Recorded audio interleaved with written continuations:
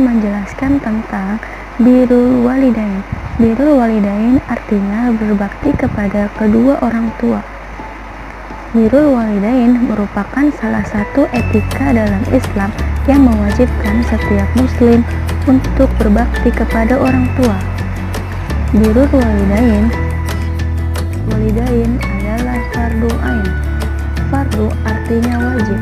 Berarti kita sebagai umat muslim diwajibkan untuk berbakti kepada orang tua, baik orang tua muslim ataupun non-muslim, dan wajib menjalankan perintahnya.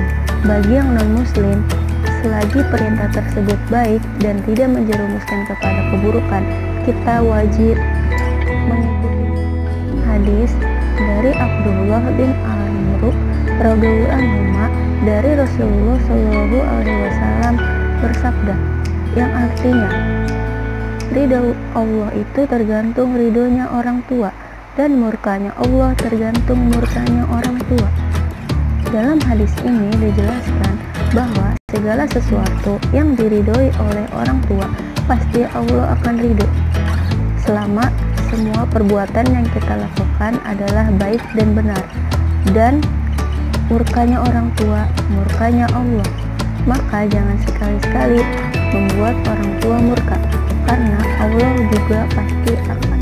Setiap anak wajib membuat orang tuanya ridho dan jangan sampai membuat orang tua murka.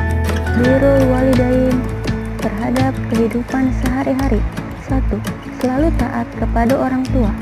Selama orang tua memerintahkan kebaikan tidak ada unsur kemaksiatan atau dosa kita wajib melakukannya. Apabila orang tua menyuruh kita kepada keburukan atau kemaksiatan, kita juga harus menolaknya dengan baik-baik, dengan lembut, jangan sampai menyakiti hati orang.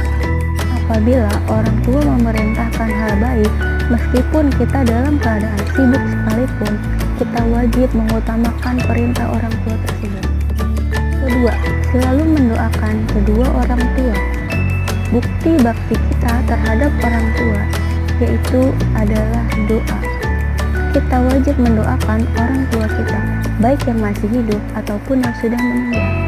Apabila orang tua kita sudah meninggal, kita wajib selalu mendoakannya, karena amalan yang tidak terputus adalah doa dari anak-anaknya dan selalu yang dinanti-nantikan. Bersikap sopan santun, selalu berbicara kepada orang tua dengan menggunakan bahasa yang sopan, lemah lembut, dan jangan sesekali mengucapkan kata "ah" atau menolak segala perintah orang tua dengan alasan apa pun. Segera utamakan perintah orang tua. Jangan pernah membentak orang tua, apalagi sampai berkata kasar.